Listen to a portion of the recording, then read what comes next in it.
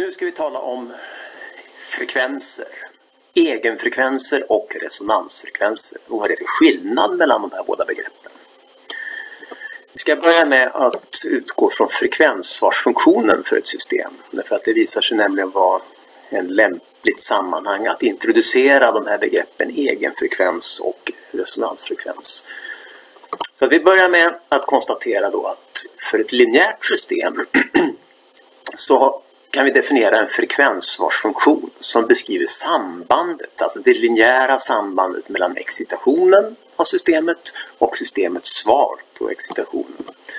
Så i det här fallet med fartyget här så kan vi tänka oss att vi har eh, ett tidsvarierande kraft i motorn här till exempel som orsakar ljud, ett ljudtryck i eh, passagerar eller manskapshytterna i fartyget.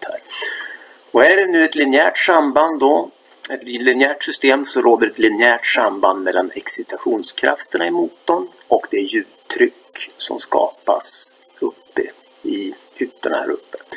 Och frekvensvarsfunktionen H det är så att säga den proportionalitetskonstant som gäller mellan excitationen F och ljudtrycket P. F och T här, det är komplexexcitationen, frekvenssvarsfunktionen H och sen så har vi komplexa svaret. Om vi nu tolkar frekvenssvarsfunktionen här så är det så att om man tar absolutbeloppet av den, den här är komplexvärd då, så visar det sig att det är det vi ibland brukar kalla för förstärkningsfaktorn. Alltså det talar om hur mycket den exciterande kraftens storlek förstärks eller försvagas för den delen till ljudtryck. Fasvinkeln då? Jo, fasvinkeln i frekvensvarsfunktionen är ett mått på tidsfördröjningen mellan excitationen och svaret. Här är ett exempel. Ehm, här har vi alltså mätt upp frekvensvarsfunktionen mellan en punktkraft som exciterar en platta i vibrationer och det vi har mätt upp är accelerationen i en punkt på plattan. Och då ser ni här att det vi har plottat här är absolutbeloppet av frekvensvarsfunktionen. Enheten är förstås då meter per sekund kvadrat per Newton. Så att tolkningen då av den här är ju, ni ser den blå kurvan här, den har ett antal toppar här där vi har höga värden på frekvensvarsfunktionens belopp. Och ett högt värde då innebär ju då att vi har lättexciterat system, det vill säga att det åtgår en rätt liten kraft. Alltså att även för en liten kraft får man en hög acceleration i mätpunkten. Och det säger man då att systemet är lättexiterat i de här punkterna där vi har toppar. Så ett lättexiterat system ger stort svar även för en liten excitation kan man säga. Och det här kan vi använda som utgångspunkt då för vår definition av resonansfrekvens. Resonansfrekvensen det är en excitationsfrekvens där systemets svar har ett lokalt maximum. Och det här innebär då att excitationsfrekvenser som ligger nära en sån här topp i systemets frekvensvarsfunktion det ger resonanta svar på systemet. Och man brukar ibland kalla de här topparna för resonanstoppar.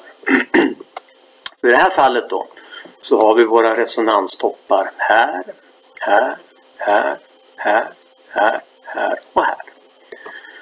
Så här kan man då grafiskt så att säga ta fram våra resonansfrekvenser. Första resonansfrekvensen, alltså-, alltså den Eh, första längs frekvensaxeln, ligger vid den här toppen. Man går alltså in och identifierar maximala värdet här och så går man lodrätt ner då till skärningen med frekvensaxeln och läser av första resonansfrekvensen. Sen kan man gå vidare då med andra resonansfrekvensen och så vidare. Egenfrekvensen däremot, den definierar man som en så kallad pool till systemets frekvenssvarsfunktion. Vad är då pool? Ja, det ska vi komma tillbaka till. Men det här kommer som vi ska se att innebära att egenfrekvensen inte är lika med motsvarande resonansfrekvens. Det är två helt olika saker. Det här. En egenfrekvens, det är en systemegenskap. Det vill säga, den bestäms helt och hållet av systemets egenskaper. Systemets massfördelning, systemets styvhetsfördelning och systemets förluster. Och systemets geometri också förstås. En resonansfrekvens däremot, det är ju en excitationsegenskap. Det är alltså den frekvens, källans, alltså exciteringens eh, kraft har, om det nu är en kraft som exciterar ljudtrycket. Så det är en excitationsegenskap. Om vi tittar på ett exempel för att illustrera den här skillnaden så kan man titta på massa fjäders dämparsystemet, det vill säga det här mekaniska enfrihetsgradsystemet. Här. Vi har alltså en massa som är uppställd på ett eh, stelt underlag via en ideal masslös fjäder med fjäderkonstanten kappa och en ideal masslös viskös dämpare med den viskösa dämpkonstanten dv. Och tittar man nu på eh, en yttre exciterande kraft F här och den förskjutning X som den ger massan här så kan man skriva den här, eller definiera Eh, den här eh, mellan förskjutning och kraft som komplexa förskjutningen genom komplexa kraften och genom att ställa upp rörelseekvationen och fjäder dämpar sambandet kan man visa då att eh, frekvensvarsfunktionen har det här utseendet. Ni ser här att förutom frekvensen omega här, vinkelfrekvensen omega, så är det bara systemets parametrar som bestämmer eh, frekvenssvarsfunktionens utseende. Och ska man nu bestämma egenfrekvenserna till det här systemet så handlar det alltså om att bestämma polerna till det här. Och polerna det är de frekvenser när nämnaren här i frekvensvariationen är noll. Det vill säga den här ekvationen ska vara uppfylld. De omega, värden på omega när den här ekvationen är uppfylld. Och eh, det här ser ni, vi har ju eh, komplexvärda koefficienter här. Så det innebär att vi har en komplexvärd andra grads ekvation. Använder man nu PQ-formen på den här ekvationen så får man komplexa lösningar.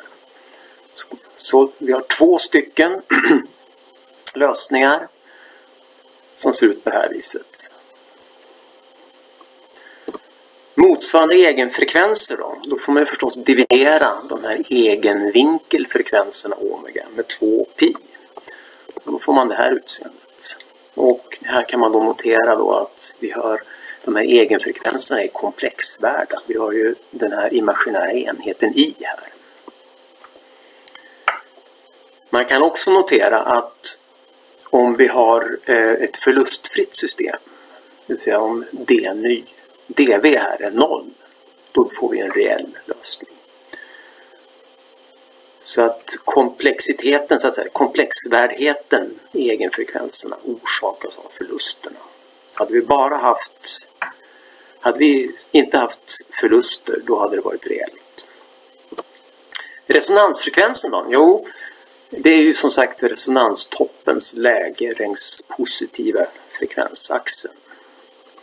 Och det innebär då att vi ska söka den frekvens där vi har maximum av absolutbeloppet för frekvensvarsfunktionen. Och eh, absolutbeloppet då av frekvensvarsfunktionen ser ut så här. Och med räkneregler då, väsentlig Pythagoras sats, så ser vi att det får det här utseendet. Så att vi har en kvadratroten ur ett fjärdegradspolynom i nämnaren. Här. Om man nu löser det här med metoder för matematiken, det vill säga väsentligen då att man söker nollställen till den här funktionens äh, eh, derivata, så får man fram lösningar, alltså resonansvinkelfrekvenser Två stycken får vi här som ser ut på det här viset och ni ser att den här är reell. Och eh, en, vi får en positiv och en negativ lösning. Men nu är det ju så att eh, av fysikaliska skäl så måste den här resonansfrekvensen vara positiva. Eller möjligen noll. Och det beror ju på att resonansfrekvensen är ju den Eh, så att säga variationstakt, det antal gånger per sekund som ex excitationen har genom, eh, genomlöper en period. Och det måste ju vara ett positivt reellt tal. Så det betyder då att i slutändan här då så måste resonansfrekvensen vara den positiva delen här.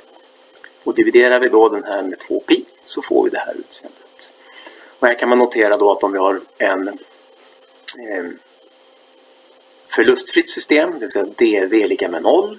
då blir faktiskt det här samma sak som motsvarande egen frekvens. Eh, ska vi se, där har vi den. dv är lika med noll. och sen då får vi samma värde här, samma numeriska värde. Den där försvinner och den försvinner. Då blir alltså resonansfrekvensen numeriskt sett lika med egenfrekvensen. Men begreppsmässigt så är det alltså två helt olika saker.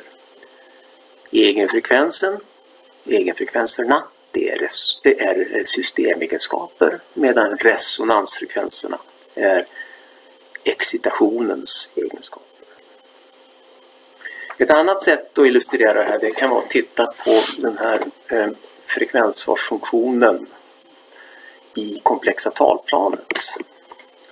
Längs de här axlarna här nu så kan vi tänka oss att vi har den eh, komplexa frekvensen, alltså realdelen och imaginärdelen av de här egenfrekvenserna. Och den här ytan, det här rutnätet ni ser här, det är alltså frekvenssvarsfunktionen utvärderad för komplexvärda frekvenser. Då ser ni att polerna, systemets poler, det är de här, så att säga, de här bergstopparna ni ser här. Frekvenssvarsfunktionen däremot, absolutbeloppet ur den, det är en skärning, alltså en linje längs den här ytan. Den här röda linjen jag markerat här. Och den är ju bara definierad då för positiva excitationsfrekvenser. Så att resonansfrekvensen det är den här punktens projektion ner på frekvensaxeln här. Medan egenfrekvenserna, det är de här polernas projektioner ner på det komplexa frekvensplanet. Så med den här bilden så blir det klart då att egenfrekvenserna inte är lika med resonansfrekvenserna. Det är alltså två begreppsmässigt sett helt olika saker.